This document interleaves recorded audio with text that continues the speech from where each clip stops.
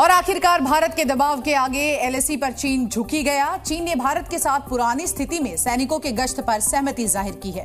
इसे भारत की बड़ी कूटनीतिक जीत माना जा रहा है। देखिए एक रिपोर्ट।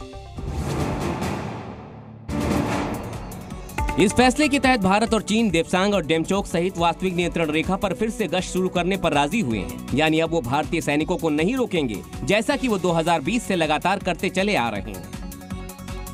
मई 2020 में सीमा पर तनाव पैदा होने के बाद से भारत चीन के सैनिकों की गश्त पर सहमति को सकारात्मक तौर पर देखा जा रहा है। हालाँकि सैन्य गतिरोध को लेकर किसी भी तरह के समझौते के न होने पर भी सवाल उठ रहे हैं।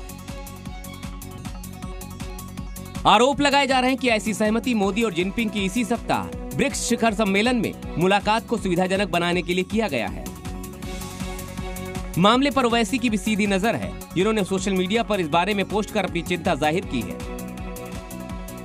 चीन समझौता करके पलट जाने के चरित्र को लेकर बदनाम है इसीलिए उसकी सहमति अभी भी शक के घेरे में है